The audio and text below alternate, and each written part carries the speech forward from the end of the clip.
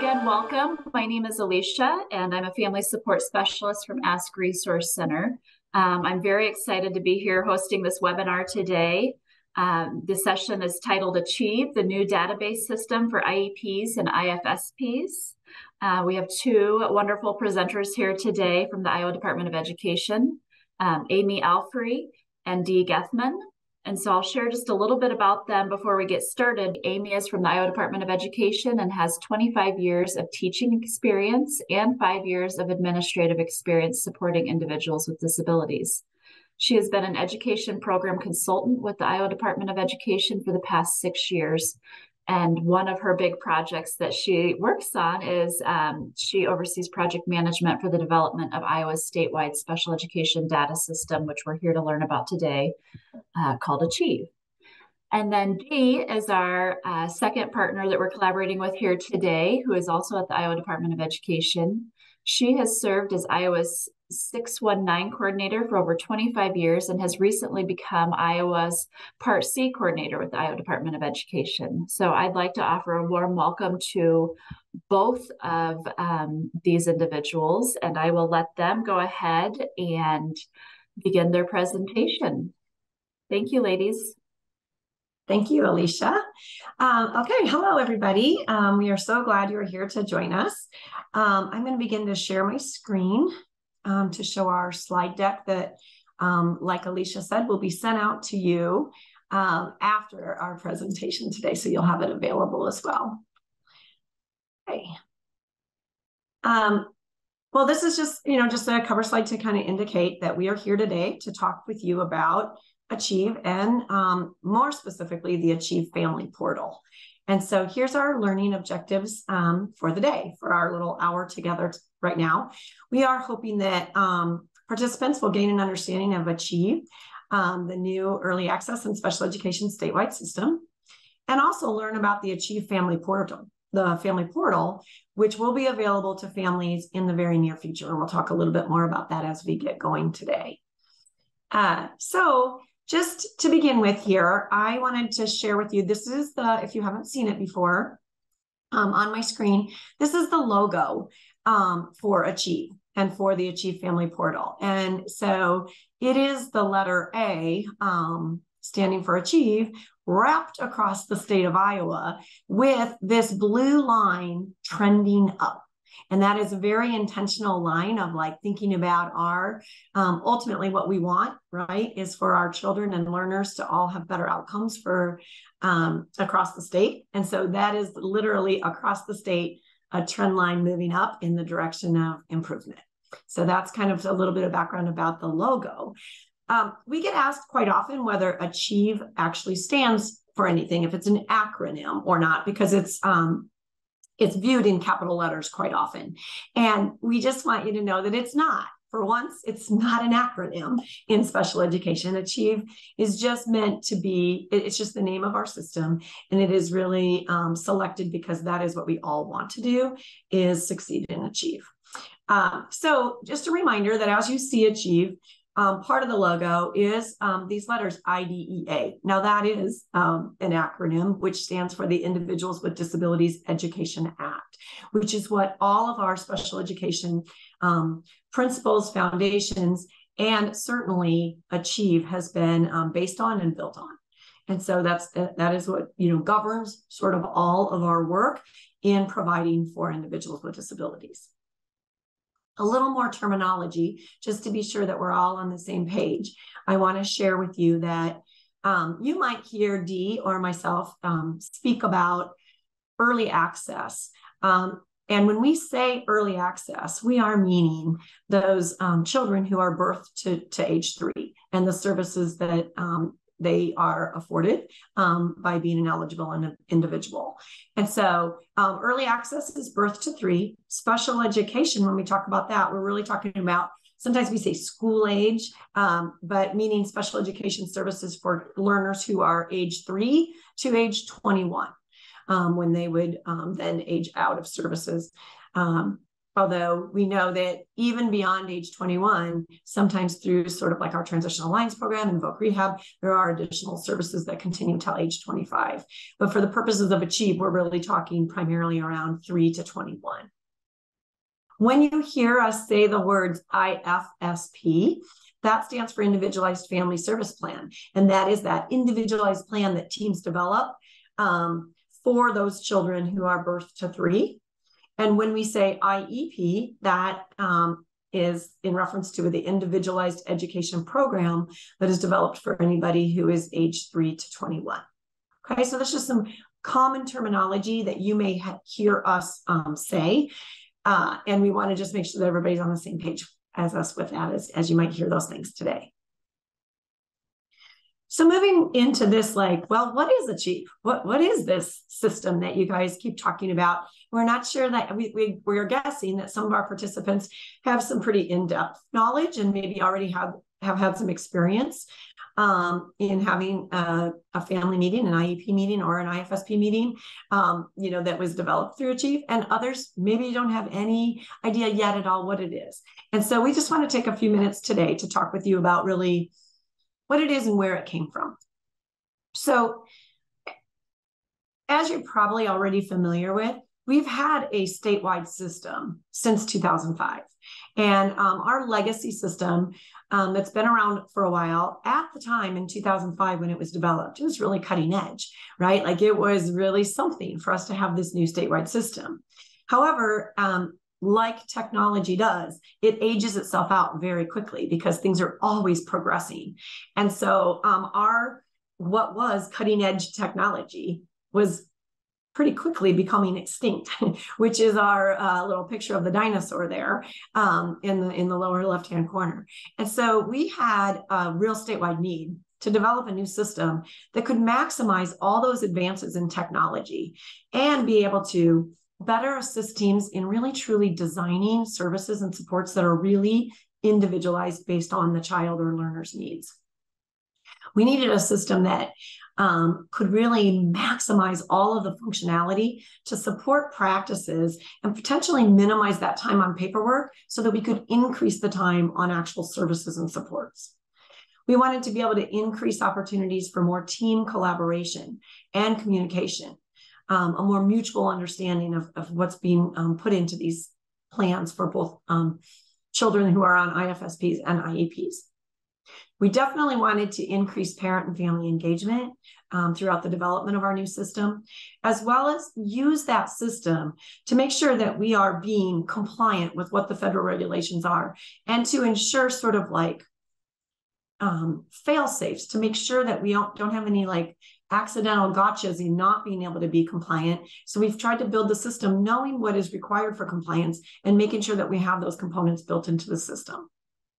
And then, of course, we're really excited that one of the things that we've been able to pull off in this um, development of Achieve is we are the first in the nation to have a one system for um, learners birth to age 21 under one roof, under one system, with seamless sorts of transition components built in. Um, Dee's going to talk a little bit more about that in a little bit, but just that we're pretty proud that Iowa is on the map as the first state in the nation to have a comprehensive birth to 21 system. Linked on this slide that again you'll have access to later at the bottom here is um, a link to our Achieve Public Google site. And so I'm going to take you there so that if you want to learn a little bit more about what Achieve entails and be able to track some of our kind of progress along the way, um, you can go to this Google site. So my screen changed over here to this is the landing page for the Google site. And you can see that there's a little more information here about what is Iowa Achieve and really some of the foundations that it was built on, including Iowa's specially designed instruction framework that's linked there, and you could take a look at that. So um, again, there's some more information here about just sort of what does this mean for me uh, about what Achieve is, and you can can read that on your own. Um, and then here are some of the additional features that I was kind of alluding to on that slide before that really went into the work of the development and now into our implementation of our, our brand new system. And that is really thinking about how we integrated with other existing data systems to um, offer for the first time ever a family portal into all of the IDEA processes. We'll talk lots more about that in a few minutes and being able to um, you know be just super user friendly and have a lot of flexible navigation to it making sure that we are meeting all of those accountability requirements um, and you know streamlining different things. For example um, our early access process of being able to um, have um, a public referral system to be able to have children be referred to receive um, potential services. So we'll talk a little bit more about that as we go as well.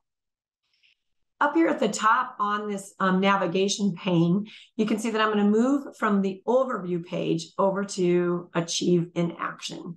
And on this page of the public Google site, it helps you see what's been going on um, in Achieve since the time that we launched in um, back in April. And so since April of last year, we have um, really had a lot of things happening. You can see that actually 65,000 meetings have been held and documented and achieved. We've had um, 7,855 referrals for children who potentially need early access services, which is huge. Because of that, again, public referral site and us being able to um, make sure that anybody who sees a need for a child has a, a way to report that has been a really big benefit for our state already. You can see that there's been almost 2,500 IFSPs or individualized family service plans developed and achieved, as well as 36,846 IEPs. So lots of action happening um, already in this, in this new database system. Down below here, as I scroll down this page, I'm just going to leave it on my screen for a few minutes, are some testimonials, including um, testimonials from um, this bottom one is from a family member, got one from a special education director, and a variety of users of the system. And so you can see what people are saying about their experience um, so far in Achieve. So that's there for you to um, read. And, you know, we welcome comments and testimonials from anyone. And so um, feel free at any time if you have had some experience with Achieve and you want to share your experience with us. Um, my email is amy.alfrey at iowa.gov. And we can share that a different way too, um, you know, through Ask Resource Center. But feel free to send us any of that, those comments that you want to. We, we welcome your feedback. At the bottom, there's also just some pictures um, of some of our users across the state as they were beginning um, to implement Achieve for the the in the in the beginning. Um, so that's those are just some fun ones. There's some pictures of some children and families as well. And then the last page I want to show you from this Google site is this Achieve Resources tab. And so I'm going to, again, up here at the top, I'm going to navigate over to the resources page. And I just want you to know that there's a couple other things here that might be useful to you. Um, one of them is to watch the video about what the early access referral public site is all about and how to use it. And so feel free to take a look at that if that's interesting to you, um, or if you want to see more about how we do have this opportunity to refer our youngest children so we get nice early interventions in place. Um, for children who need that. So take a look at that video if you want to. Another thing that's interesting is um, the Achieve infographic. And that opens up this one pager that is uh, a little more about the things that I was already telling you about of what really is Iowa Achieve and what are those system features that were built into it. So that's a one page sort of infographic that you can print or take a look at if, if you want um, a little more information or if you wanted to share information with others. So again, back here to the PowerPoint, that Achieve Google site is linked here on the slide deck that will be sent out along with the recording. So that'll be available to you. Um, and you can just kind of explore that site on your own as well to learn a little bit more about really what is Achieve and, and, and um, look for additional resources on that resource page to be coming because as we have other webinars or um, other information that we want to share globally with the field, that is a place that we will locate those resources for you. Okay. So then that kind of tells you a little more about just what is achieved this system that we built in order to have those um, individualized family service plans and um, those individualized education programs. But now, what does it mean? What is the family portal part? What is that going to look like? Um, it is not yet available because it is in um, still in the um, further along in the conceptual stages but still in the development stages. And so we're going to talk to you a little bit about what is being developed and, and what you can expect from that today. So let's start with really what is the family portal? And so um, on this first part of the slide, I've got some things to help you understand that what it really provides is real time access to your child's records. Um, and so that includes, and this is not an all inclusive list, but um, and it, that would include things like draft plans that are being developed that the team um, shares with you via the portal. So you can take a look at them prior to coming to a meeting um, to review them. And um, by having it available in the portal, it's available to you really at any time that you want to access them. It's also would ha have you have access to any of the finalized plans or any of the documents associated with your child's file. So like you want to look back at a meeting notice, you want to look at um, a consent form that has been um, signed. You want to look at a prior written notice from a meeting or two ago or the most recent one. You want to look at an IEP from, um, you know, the, the most current IEP for, and you want to look at IEPs over time. You'll be able to do all of that in the documentation section, which we're going to talk about a little bit more here soon um, on the family portal. Okay, it also gives families access to progress monitoring data as it is entered into the system. So the minute that your service provider um, is entering that information about how progress is um, going on an outcome or a goal, you as a family member will be able to see that and um, have access to that data. It's also really a nice repository um, which I'm going to show you in a couple screens here, of just all of the records and how you can not have to try to maybe keep track of them all in a giant filing drawer, right? You'll be able to have sort of this electronic repository of all your records um, for your learner. And so for your child, at any time that you want to go in and download or um, print or look at your child's records, you'll be able to have instant access to that rather than waiting maybe. Um, you know you've always always would have the right to have access to that information but sometimes it gets caught up in you making a request and then having to wait for the team to get it for you. And then you know if you're waiting for snail mail for it to eventually get to you. So this takes away some of that waiting period and gives you that access to your records right away. Dee's going to talk a little bit more about that in in just a couple slides the other thing that a, the Achieve Family Portal includes is a calendar in it of all of the upcoming dates um, and meetings that you've been invited to for your child. And so, like, if there's certain um, due dates, like when a review is due, or a three year reevaluation, or when a meeting has been scheduled, there's going to be a calendar of those events for you on your landing page in Achieve, which I'll show you in a few minutes. So those are just some of the things to expect. And Dee's going to talk a little bit more about that as well. Um, but something, so a couple other things I want to share with you about what it really isn't.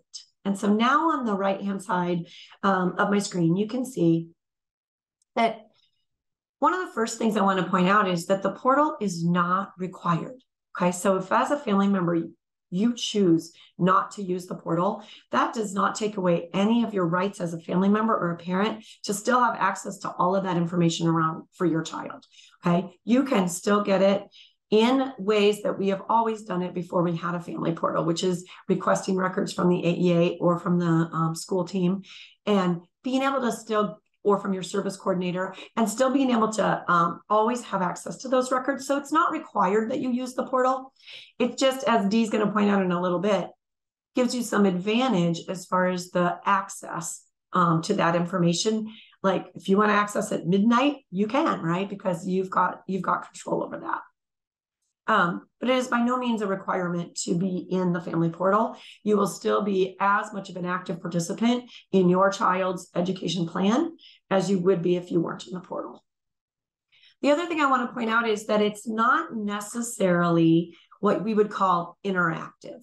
So, although there are options for the family to take some actions. You can do some things like, for an example, if you elect to um, choose this option, you can sign things electronically via the portal. So you can say, yeah, please send that to me in my portal. And um, if you're a person that's got the right permissions to sign for the child, right, you definitely have to um, be an authorized user for that child. But if you um, have that capability, you can choose to sign things in the portal.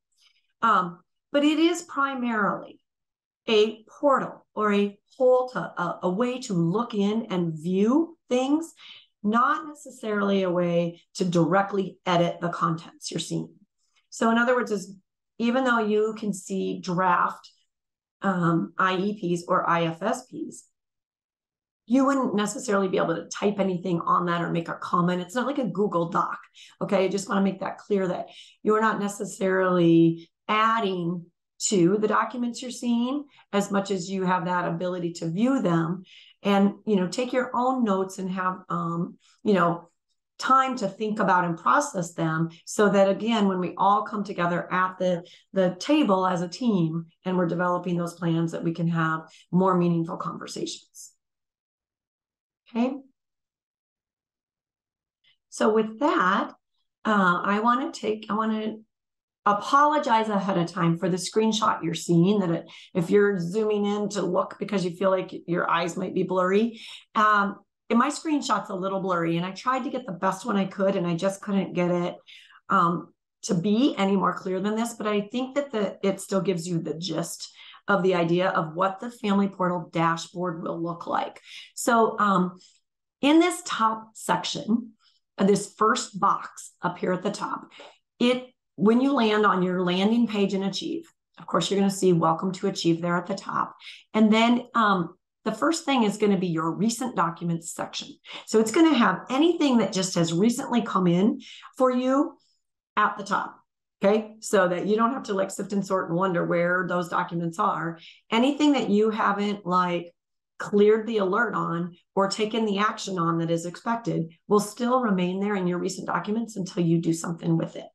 Okay. So it's a nice way for you to get to what you need right away. And so you might not be able to see these headings super clearly, but it's really like what the document is, what the description is of, of what you're seeing. And then it has the date and then it has the learner name. And the reason it has the learner name is that if you are a family that has more than one child in Achieve, so you might have somebody that you might have a child that's getting um, early access services as well as a child getting special education services or more than one child getting either. Um, you don't have to have different landing pages for every one of your children. They, they will all be here on your landing page and you can select which learner you want to interact with without having to log in and log out for different learners. So that's kind of nice if those of you who have children across different schools and you might be logging into a student information system like Infinite Campus or PowerSchool and stuff like that and you might have to go to different ones for different children. That won't be the case for achieve.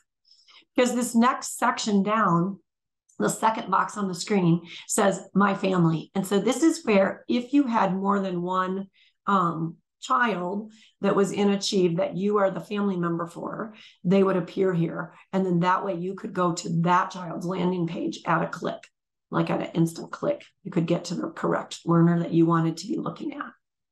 And then here's that um, snippet of the calendar that I was referencing a little bit before that you would be able to um, change whether you see it by um, week or by month or by day.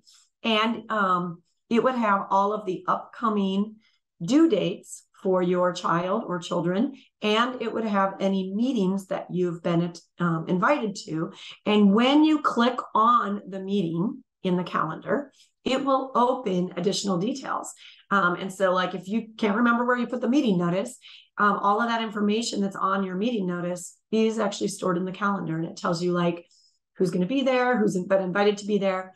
Um, where it is, what time it is, all of those sort of details open up as you click on any of that on the um, on the screen here on, on your dashboard. So that's the, oops, I'm sorry, clicked the wrong button there. So you're going to be able to land here and at a glance, be able to get right to what you need um, with, with very few clicks. It is being designed to be um, compatible with mobile devices, and Dee's going to talk a little bit more about that too. So you don't have to be at your laptop in order to access this information. I'm going to show you one more screen. Now, note that there's a lot of busy stuff happening here on this screen. So um, the red and purple are annotations trying to show you that you've got some options as a family member. Those will not be on your busy screen. Um, so I'm just going to talk you through these a little bit. What we're viewing here is for each learner that's in Achieve, there is a documents section okay, as part of your their learner management page. And so as a family member for each of your children that you have in Achieve, there would be this documents section. And you can see that pretty quickly, we know that there's a lot of documents, right, involved with early access and special education services. So we wanted to make it very easy to find what you need when you need it. So there's a lot of filter options. So this very top red annotation is telling you that it's, even though there's a lot of documents stored here, it's easy to find them using all kinds of options to sort and filter. You can just say, I want just to see the ones that came in today or the last seven days or the last 30 or the last 90. So there's a lot of ways to filter out so you don't have to look at them all at one time. You can also click on the title and sort them by that as well. You can, um, anything that is linked here is a actual document, an actual PDF document that you could print or download. And so just clicking on it opens it right up on, in another window right on your screen. And so you would be able to very quickly um, have access to the documents that you're looking for. If you see that, if you can notice here that there's an eyeball next to a meeting notice, you can at a glance click on that eyeball and you'd be able to view the participants that um, were at that meeting. Okay. And so if there's not an eyeball, it might be that the meeting had not been held yet. Okay. Um, but you can see on these ones that say meeting held, you can very quickly take a look at who the participants were at that meeting. It's just another, there's some little other added features like that of being able to um, view these documents. You can notice that this is quite a list, right? A lot over time, the documents do build. And so like it becomes what I was talking about, that repository for that information. And so um, you're not going to have to wonder like where's the last iep i want to compare you know this year's plan either ifsp or iep to the previous one. And so you'd be able to access all of those in this documentation section. So it's a really nice place for families to be able to organize and keep track of all of the various documents that are related to um, early access or special education services. Okay so those are sneak peeks that that dashboard screen I just showed you, and now this documentation section, those are just some sneak peeks into what you can expect when we get into Achieve. That's not all, right? Because we talked about that you'd still be able to see progress monitoring and you'd be able to see, you know, some other data and information for your learner. And so um, some of those screens are not yet fully developed, and so we don't have those to share with you yet. So I just wanted to give you um, a sneak peek into these screens so that you could sort of get a better feel for what to expect. And now I'm going to toss it over to Dee, and she's going to give us a little bit more information about like why, why achieve. Well, thank you, Amy. I, I, I, I get to uh, really tell you about why um, Achieve was, we see Achieve as an asset for Iowa's families, uh, Iowa's children, and our youth. Um, in, in early intervention as well as in special education services. We built Achieve on the belief that seeking information from team members in order to prepare for developing, reviewing, um, revising an IFSP or, as, or an IEP really does set the stage for meaningful participation and, and helps everyone be informed in terms of decision making in the development and the review of that IFSP and IEP. It really, we feel like, leads to that informed decision making and the individualized um, nature of, of our services. The other asset we believe is it really, as Amy described, you will be able to see the accomplishments and progress as well as struggles on how um, your your child or your youth are achieving those IFSP outcomes and IEP goals. So we feel like that that would be available for you, as Amy described, um, to just to look at day to day, to week to week, month to month of how um, those interventions and instructional strategies that you discussed during those meetings of the IFSP and IEP development, how that's proceeding, how that's coming along, which really does lead to uh, providing that focus on that partnership and that it really does support um, all of our learning uh, to be able to learn as a team. The other aspect that we feel like, as Amy described, this is a birth to 21 system. And so we really wanted to make sure that Achieve prepared everyone for a smooth and seamless transition and preparing to put the supports that were in place or that need to be in place for those times when transitions may be bumpy, maybe um, a little anticipatory, um, nervous, uh, or anxiety provoking, that we want to make sure that that's seamless and and everyone is really on the same page. So when, for example, someone, a, a child and family are leaving early access, you will be able to really look at the system within that context, or from preschool to kindergarten, as well as those youth that are approaching 14 years of age, that we really built a system that supports uh, seamless transitions for families and educators across uh, birth to 21. The next um, aspect I really wanted to share with you is why will Achieve, the family portal, be an asset for Iowa's families, children, and youth? So um, we designed it again for ease of access to your IFSPs, your IEPs, to, as Amy shared with you on that snippet where you can access evaluation reports, you can access meeting invites, um, and a variety of different information. It will be accessible um, to view those plans. And we'll provide you uh, families with the option to choose how to access the information. Um, that might be through the, the portal, through, this is a web-based online system. Um, it's it is a static versus a dynamic but you really are able to access information and make it available at any time anywhere um, and for those that are involved with the, the child and family then you will be able to access that information. The other point of access is really thinking about it in relationship to um, our translation services for people who need information in languages other than English. And so we have been working with our vendor and um, to be able to create uh, a system where we will be able to translate written documents and information into other languages. And then the last, um, very important, we are approaching Achieve and the Family Portal to ensure that we protect confidentiality of personally identifiable information. We are under, we are very much aware of the information that this contains um, is uh, personally identifiable and it, is valuable information, but also needs to be protected. And so we are working diligently to make sure that we have um, that securely in place. Okay. I will hand that. I, am excited to talk about the why, and, and I hope you hear our energy and our enthusiasm as we, um, as Amy and I share uh, how how Achieve has really come together.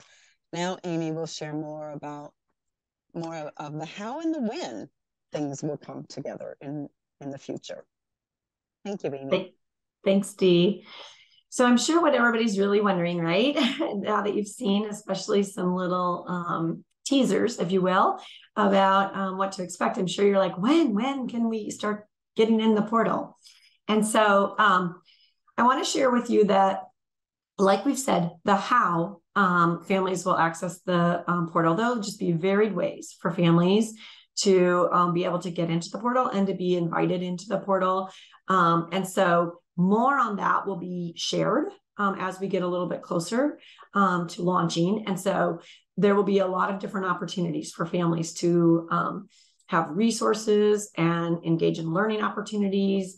And, um, you know, we expect to have like, you know, some videos to help people learn how to navigate in the various ways that you can navigate. And we expect to have um, like some sort of quick tip sheets that are like, you know, help you um, to navigate the system. And so all of that is in the works right now.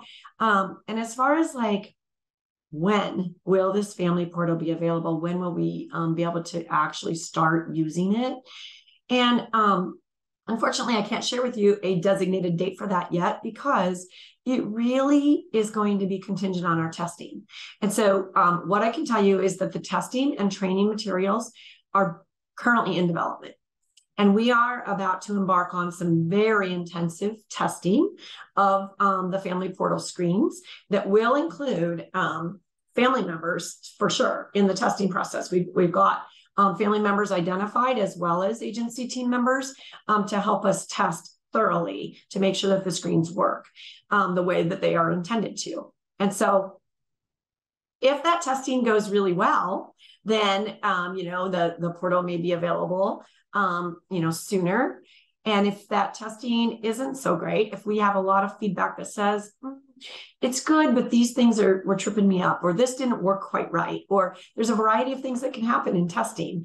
And so um, depending on the results of that testing and what kinds of improvements we need to make after testing, that that's going to um, you know impact our delivery of the portal um, and and have it ready for full implementation statewide.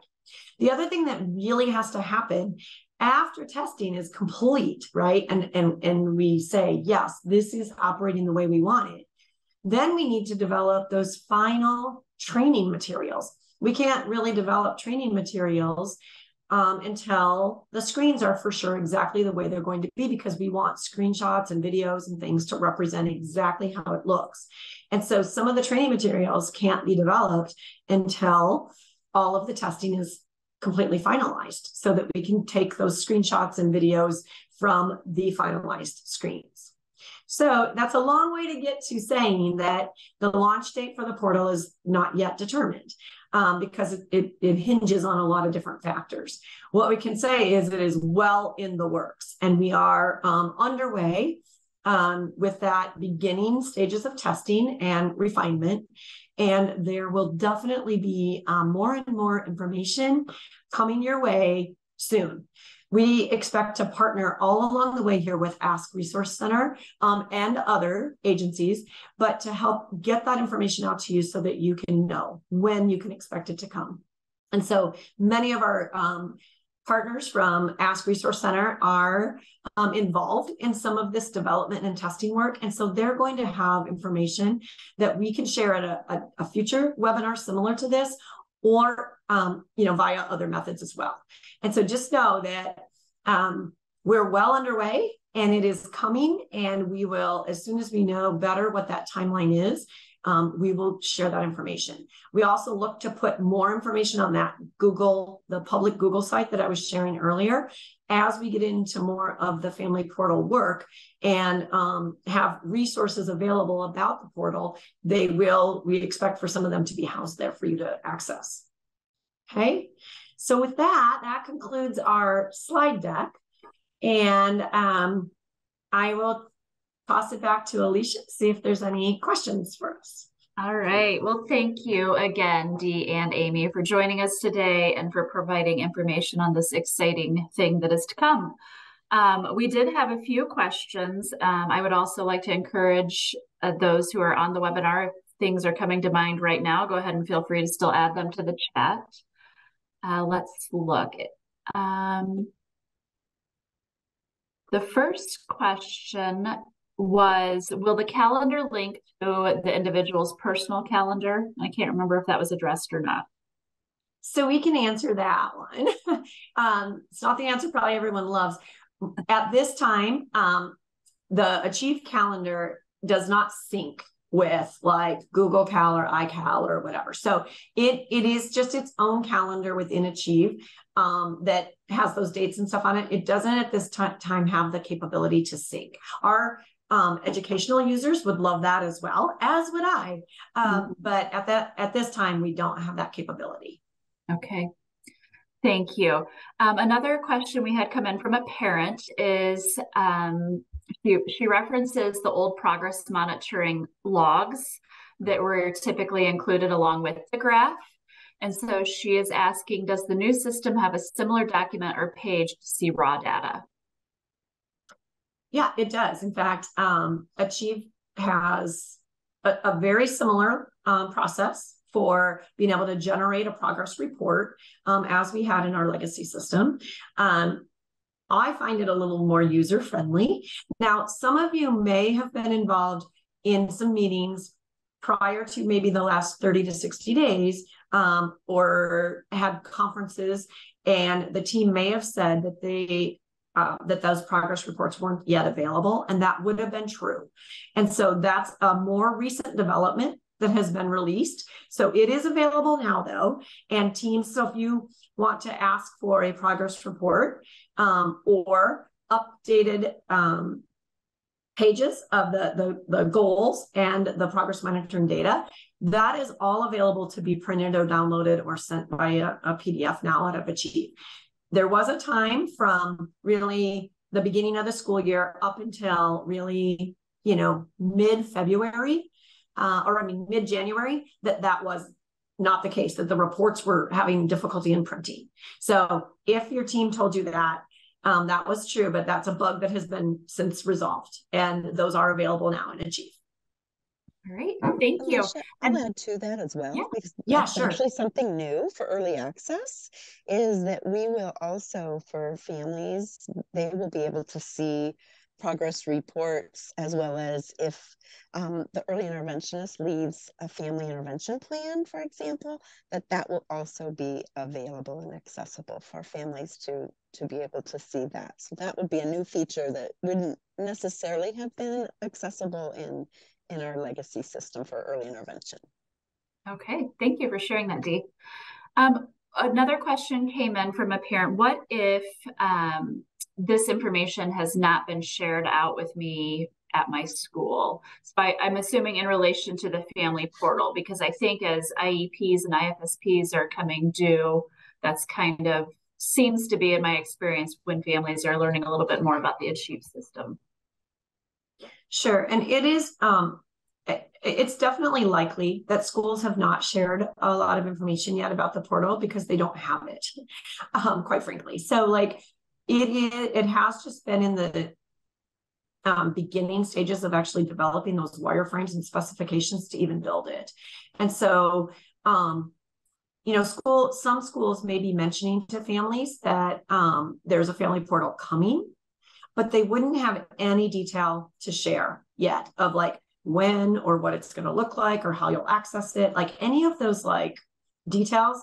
That's really what's in the works right now and um, will be shared with schools for the purpose of sharing with families. And so don't, you know, just just be patient and hang in there because it's coming. And that's the stuff that um, we'll be sharing with AEA staff and um, our school staff in order to get that information out to parents. But they, um, the schools don't have that information yet. Okay. Perfect. And I think you've already kind of answered this earlier and then, but I'll just have you kind of close out with this last thought sure. um, that segues nicely from that previous question. Somebody wrote, I'm curious how that information was going to be shared out with families. So if you could just reiterate, maybe both of you in IFSP world and IEP world, how we anticipate the information will be shared with families once that time comes. Sure. And I will say that um, a little of that is yet to be determined. I mean, we're still working on like various avenues and thinking through so that we can make sure that we are really reaching families in a variety of ways. And so some of that is still like um, we're still exploring that and it and is yet to be determined for sure all of the different ways we're going to do that. But one thing that we know for sure is that as we have like resources tutorials training opportunities learning materials around the portal we will share them widely with you know via our um, aea staff our early access providers our um, family engagement partners and partnerships are agencies such as Ask and others that um, you know communicate a lot with families. And so we plan to have a really wide breadth of um, sources for the information that we will have available so that families can access it in a, a variety of ways. For sure, though, that person that's the sort of central case manager for your child. So, like whether that be your service coordinator for early access services or your um, like the IEP facilitator, the, the the teacher or provider that is really the one that connects with you a lot to schedule meetings that that is sort of the what we would call the case manager or facilitator of your child's case um, they're going to have a lot of information to share out with families. And so um, and they're going to be helping you with um, understanding when and how you can have access to the portal depending on um, because one thing i can tell you um, now is that the portal is not available for families until the learner is um, determined eligible for services. So when you're in that stage of deciding and determining eligibility um, that is the portal does not come into play until we the team you you know parents being a part of that team determine that they are eligible for to receive either early intervention or special education services. And that's at that time then when you would be invited into the portal. Thank you for clarifying that point too all right, I think that is all of our questions. So thank you again, Amy and Dee, for joining us today and providing those this information. And we look forward to more information to come. Um, I would offer again, um, go ahead and check out on our website. Um, it should be posted soon, registration opens soon rather, um, for our Together We Can conference. I, we'd love to have you there and have you join us. Um, also, if you could remember to please fill out the survey that will be coming, um, and then just remember that we will also be sending the PowerPoint along with the recording of this. Um, so thank you again, and we hope you have a great rest of your Monday.